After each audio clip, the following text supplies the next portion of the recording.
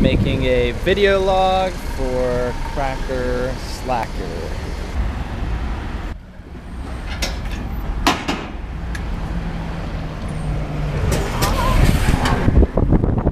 Woo! Almost just died there. Life is all about taking risks. That's what it's all about.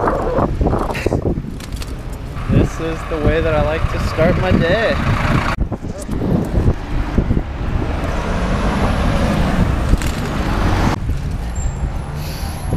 So, I'm currently living in Paris, and I'd like to tell you why you should try living in a big city at least once in your life. You meet a bunch of people, get some new ideas.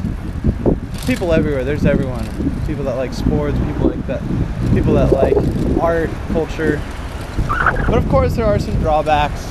You can easily get lost in the in the crowd when you first get in a big city. But I think it's definitely something that you have to do. I'm not a city person, but uh, here I am having a good time in Paris. Ugh, bus drivers.